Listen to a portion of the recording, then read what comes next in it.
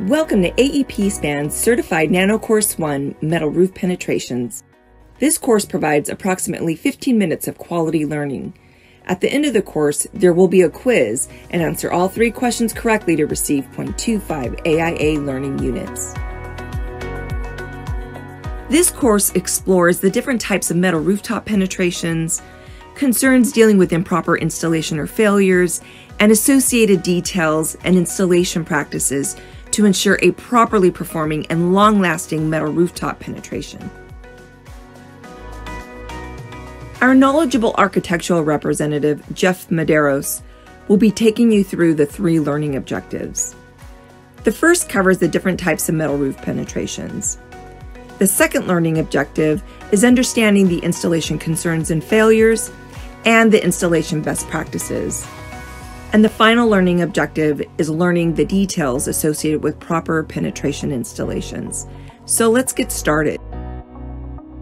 Proper installation of roof penetrations and curbs for metal rooftop equipment is a critical component in a properly functioning roof system. So, in the first learning objective, we are going to explore some of the different types of metal rooftop penetrations. There are three different types of metal roof penetrations, so let's go through each of them. The first type is pipe penetrations. Some examples of these types of penetrations are vent pipes, such as plumbing vents and conduit. The second is curb mounted penetrations. Some examples of this would include HVAC, hatches, skylights, and tubular skylights. The third category is surface mounted penetrations. Examples include attic or roof vents and lightning protection. Here is an example of a pipe boot penetration. Pipe penetrations are cylindrical penetrations that utilize a flexible pipe boot attached to the panel in order to isolate the panel from the penetration.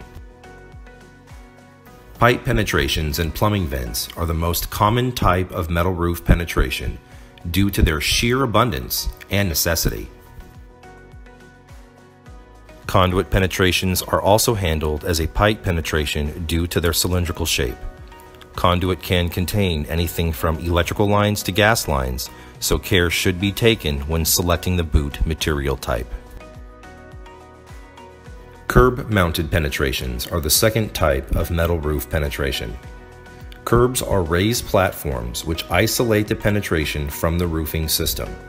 They often cover multiple panel widths due to the size required to mount the variety of fixtures to the curb top. A multitude of fixtures can be used on mounted curbs. As you can see here, the most common is HVAC. Large pipes, skylights, and rooftop hatches. The third type of metal roof penetration are surface mounted penetrations. These are mounted directly on a panel, to a rib, or integrated into the system itself. They tend to be small and sleek. This is an example of a half-round louver vent.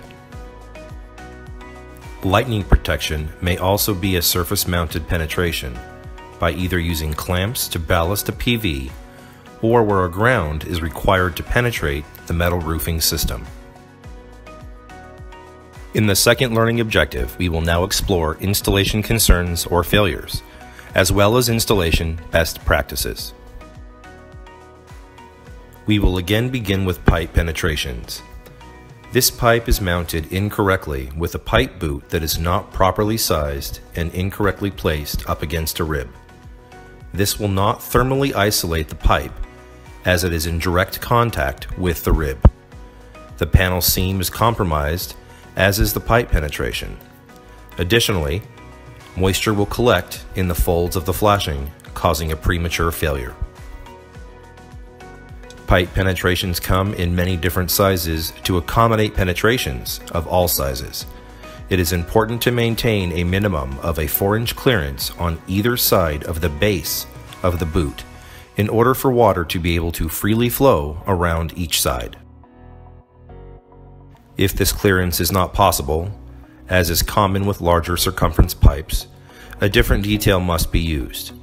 A pipe boot with the appropriate base width is selected then the top cut to the size of the penetration. A pipe boot attaches to the metal panel and the penetration passes through the boot. The pipe penetration itself doesn't move or contact the roof, as it may experience vibration, which would otherwise damage the roof or fracture the pipe if it were permanently fixed to the roofing material. The boot must be able to move freely with the roofing system, while allowing the pipe to remain stationary. The boot can also accommodate vibration from the pipe to keep it intact or isolated. Curb mounted penetrations typically cover multiple panel widths. Because of their size, water runoff from the upslope panels located behind the curb becomes an issue. Crickets should be utilized to divert water around the curb by directing water to either side of centerline. This photo shows curbs with crickets properly installed to divert water around the curb. Note how the crickets have the peak of the slope dead center on the curb so as to equally divert water to either side. The tail or leading edge or flange of the cricket is flashed under the upslope panel. IBC 1503.5 does not require crickets for curbs with a width of 30 inches or less.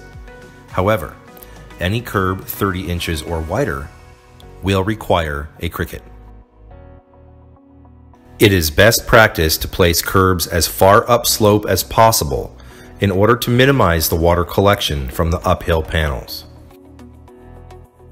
The higher upslope the penetrations are located, the less water can accumulate on the panel run and the easier it is to route the water around the penetration.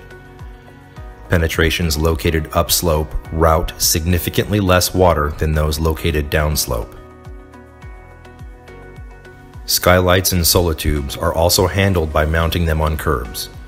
They should never be installed directly on a panel as there is no way to effectively waterproof and isolate the condition from the roofing system. Again, use crickets when installing curbs to divert water For surface mounted penetrations, attic and roof vents may not always be present. However, if they are, they must be installed in line with the panels and preferably as close to the ridge as possible to minimize the amount of water runoff they will be exposed to. When small, they can be directly mounted to the panel. When they will violate the 4 inch rule on either side of the penetration, which is pretty common, they must be built on a curb. Lightning protection may penetrate the roof where a ground is required. It can wrap around the eave and terminate at the foundation, or it can be mounted to the clamps to isolate the cable from damaging the roof from movement due to wind, vibration, or the panel's own thermal movement. Other installation concerns or failures include the proper use of sealant, Failed sealant will fail to keep moisture out and will eventually become a direct point of moisture entry. If damaged, remove all sealant, clean and dry the application area, and reapply. Be sure to use an exterior grade, UV stable sealant that can flex with the thermal movements of the metal, such as a polyurethane. Exposure to the elements is the primary cause of sealant failure sealant will degrade over time and will always remain a serviceable item that must be checked regularly for integrity. The pipe boot flashing itself can fail for the same reasons as sealant exposure to the elements as well as for mechanical vibration and thermal movement. Holes and tears can develop, which is a direct point of entry for moisture. Pipe penetrations should emerge in the dead center of the panel whenever possible. If it doesn't line up with the center of the panel, the use of a 45 degree bend in the pipe below the metal roofing membrane should be implemented in order to move the pipe the required distance so that it can emerge closer to the center of the panel. Occasionally this will not be possible, and a cut rib detail can be used. While dissimilar metals is a primary concern in all metal roofing systems, so is the use of incompatible sealants and asphaltic based materials. Asphaltic based mastics will absorb heat from the metal, gray out, and prematurely fail. Only use appropriate sealants and butyl with the metal panel to ensure material compatibility. Metal roofing systems thermally cycle. They expand and contract along with the ambient temperatures. The rough opening in the metal panel must be large enough to accommodate for this inherent movement in the panel, but small enough for the base of the pipe penetration to cover it. The pipe penetration will stay in place while the panel and boot will move around it. This is the purpose of the flexible pipe penetration, to move with the metal panel and absorb and flex around the rigid pipe. In the third learning objective, we will look at the information that we have covered so far and show some details for proper installation. Here is a typical pipe penetration. There are two detail requirements. One, the penetrations should be centered in the panels, if at all possible. And two, the substrate must be cut out enough so that the pipe boot is only attached to the roof panel. When a pipe penetration is too large to be centered within the panel and have adequate space on either side to allow for water runoff, a cut rib detail or a home plate detail must be used to mount to the rib. When a penetration is too large to fit within the confines of one panel width or is located directly on a rib, the correct detail is to elevate the penetration on a plate placed on the center rib of two adjacent panels and flash with a Z closure which is attached on the flat pan of the roof panel and on the top side to the plate. This way, the panel rib is continuous and the penetration is correctly isolated. Photovoltaic panels are frequently installed and seemingly require countless pipe penetrations in order to support them. By using seam clamps, which are attached to the panel ribs, there are no roofing penetrations required.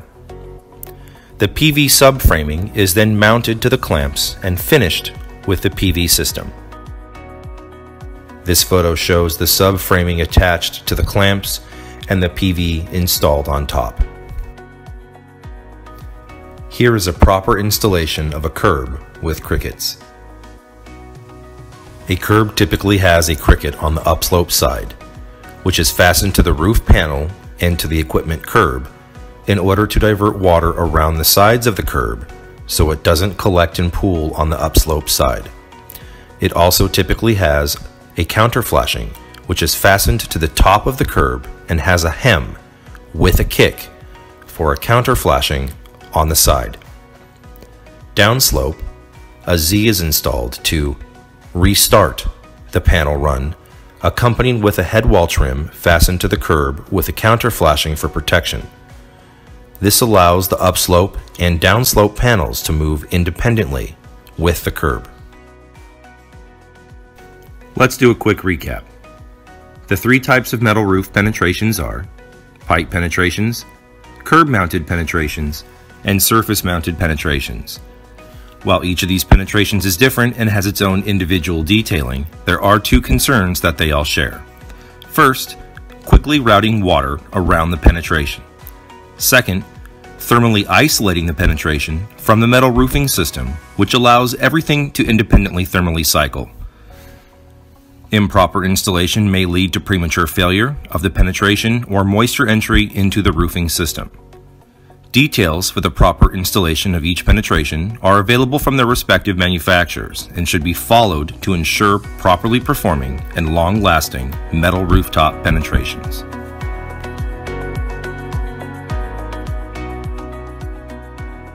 Thank you for spending time with AEP Span and taking our Nano course. AEP Span is a premier metal roof and wall product manufacturer and a trusted partner for over 50 years, offering an unrivaled commitment to the success of architects in achieving innovative built environments where people work, learn, live, and play.